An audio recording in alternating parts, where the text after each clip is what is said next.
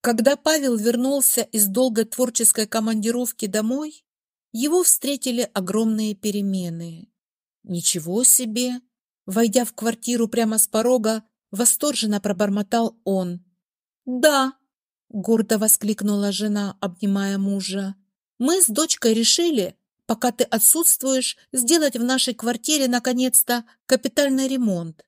Наняли профессионалов, заплатили им кучу денег, и они все сделали быстро и очень качественно.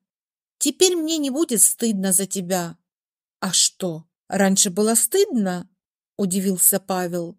Конечно, ты же писатель, и тебе уже шестьдесят лет. Хватит жить скромно. Писатели должны жить красиво. Пошли скорее на кухню, посмотришь, как теперь она выглядит. Только не падай в обморок. Действительно, Кухню после ремонта было не узнать. Рай для современной женщины. По-другому и не скажешь. На кухне все сверкало и блестело, а новейшее современное оборудование притягивало к себе взгляд. Хотелось скорее его включить и что-нибудь на нем приготовить. «Мой кабинет, надеюсь, вы не тронули?» Вдруг осторожно спросил Павел. «Как это не тронули?» Мы тебе там тоже потолок натяжной сделали, пластиковое окно поставили и пол поменяли. Ну, еще кое-что из мебели обновили. Что обновили? У Павла упало сердце. Он почти побежал в свой рабочий кабинет, где проводил большую часть своей жизни. Ворвавшись в свою творческую берлогу, Павел облегченно выдохнул. Массивный письменный стол и кожаный диван стояли на том же месте. А вот вместо простеньких книжных стеллажей появились солидные шкафы. И вдруг у него опять нехорошо защемило сердце. «А где зеркало?» — спросил он. «Как где? Вот же оно!» Жена показала рукой на новое круглое зеркало, которое висело напротив дивана точно на том же месте, где раньше висело старинное зеркало, давно помутневшее от времени. То зеркало осталось Павлу от отца, а отцу досталось от деда. «Я спрашиваю, где зеркало в дубовой оправе?» — спросил он раздраженно. «Мы его продали через интернет», — спокойно ответила Раиса. «Какому-то краснодеревщику. Я хотела вообще его выкинуть, но дочка решила продать. Она нашла мастера, который собирает старинные деревянные вещи, созвонилась с ним. Ну и все. Вы продали мое зеркало. У Павла зашатался пол под ногами. Зеркало, которому было двести лет. Вы что, вы с ума сошли, да? Павел, прекрати истерить! Недовольно махнула на него рукой жена то зеркало невозможно было смотреться. Оно же все мутное было, с какими-то темными пятнами. Да и рама выглядела так, как будто ты эту вещь нашел на помойке. А ничего, что в это зеркало смотрелось пять поколений моих родственников. Мои родители, мои дед и бабушка, прабабушка и пра-пра-пра. И что такого? Усмехнулась жена. Как что? Иногда мне казалось, что я их там вижу. Порой смотрюсь в зеркало, а из него, как из тумана, мне то дед подмигивает, то прабабушка. Прекрати, умоляю тебя. Я это слышала уже не раз. Сморщилась недовольно жена. Я понимаю, что у тебя прекрасная фантазия, но ты должен думать о своем имидже. Тебе приходят известные люди, а на стенах у тебя висит какое-то непонятное барахло. Раиса, это не барахло, почти застонал Павел. Мне отец говорил, что в нашем роду все были долгожителями только благодаря этому зеркалу, потому что в нем накопилась огромная родовая энергия. И когда мы смотримся в него, мы от него заряжаемся. «Ну прекрати нести этот бред!» — воскликнула раздраженно жена. Никто не поверит в то, чтобы какое-то мутное стекло могло продлевать жизнь. Все, нет у тебя больше этого зеркала. Нет. Смирись и смотрись в новое. А если оно тебе не нужно, мы перевесим его в прихожую. Да, лучше перевесьте, холодно сказал Павел, сел на диван и закрыл глаза. Когда жена ушла, он принял лежачее положение и так пролежал на диване до вечера. И ужинать Павел не стал, потому что у него напрочь пропал аппетит. На следующий день, ближе к обеду, Павел почувствовал себя плохо. Появилась слабость, странная потливость и головокружение. Но чтобы зря не беспокоить жену с дочкой, он сделал вид, что у него все хорошо. Несколько дней он боролся со своим состоянием, но скоро почувствовал, что после любого приема пищи у него начинается странная тошнота. Пришлось обратиться в поликлинику, и врач немедленно направил Павла в больницу на обследование. Через несколько дней у него неожиданно диагностировали онкологию и немедленно госпитализировали. Почему болезнь обнаружилась только сейчас? В тот же день бушевала Раиса в кабинете заведующего поликлиникой.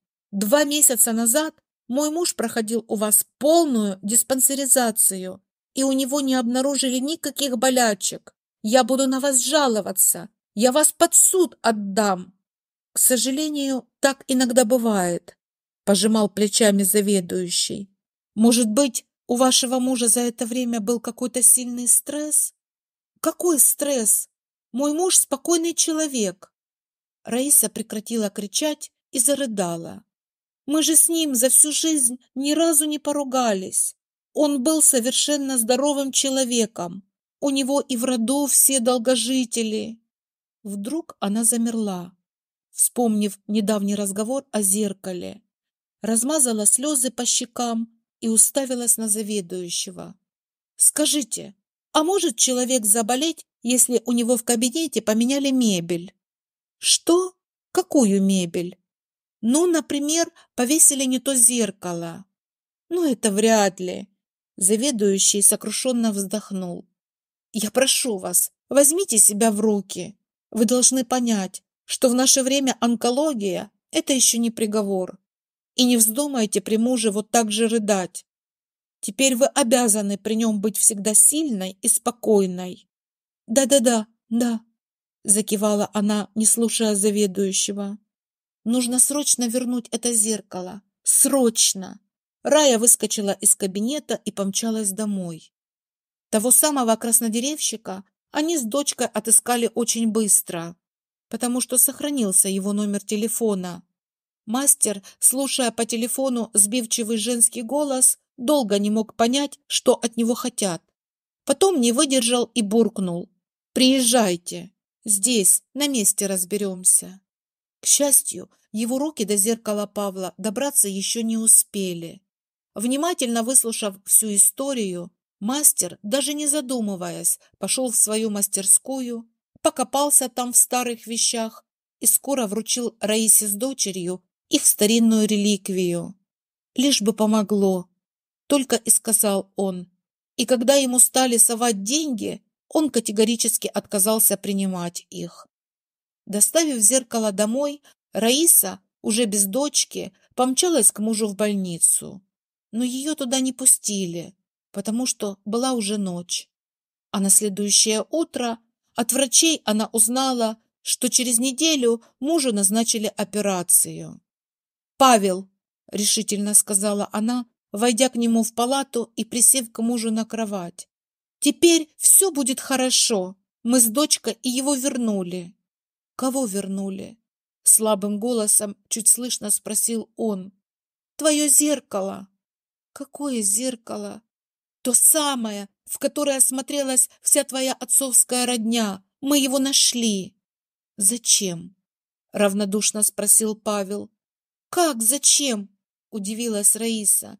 Ты же сам сказал, что благодаря ему в вашем роду все долгожители. Ах, ты про это. Ты поверила в эти сказки. Как сказки? Возмущенно воскликнула она. Это не сказки. Сейчас я отпрошу тебя у врачей и мы поедем с тобой домой. Зачем? Опять равнодушно задал он все тот же вопрос. заряжаться энергией твоих предков. Я не могу, Рая. Мне тяжело вставать, а ходить тем более. Ничего, если ты не сможешь, мы с дочкой отнесем тебя на руках. И она побежала к заведующему отделения отпрашивать мужа. Через час Павел, пошатываясь от страшной усталости, придерживаемый женой и дочкой, вошел в свой домашний кабинет. Его довели до дивана, усадили на него, подложили со всех сторон подушки и поставили перед ним то самое старинное зеркало, прислонив к спинке стула. Затем жена зажгла в комнате полный свет и сказала, «Все, Паша, теперь ты точно вылечишься. Я думаю, нам нужно оставить тебя с твоими предками наедине». Когда Рая с дочкой вышли, Павел посмотрел на свое отражение в этом мутном зеркале и ужаснулся. Он себя совершенно не узнал. Впавшие щеки, заострившийся нос, пустые глаза и морщины на лбу, как у древнего старика. Но вдруг внутри зеркала он разглядел отца, который на пару секунд появился рядом и ободряюще похлопал его по плечу. Затем промелькнуло отражение деда в потертой гимнастерке, который жестом показал, что у Павла должно быть все хорошо. Потом стали появляться лица, которые он не видел даже на фотографиях. На следующее утро Павла повезли обратно в больницу. Из такси он выходил уже сам, пусть и с трудом, но при этом держался уже достаточно бодро. Через два дня когда, подготавливая к операции, у него вновь взяли анализы, обнаружилось, что болезнь как будто бы куда-то исчезла. Повторные анализы показали, что Павел совершенно здоров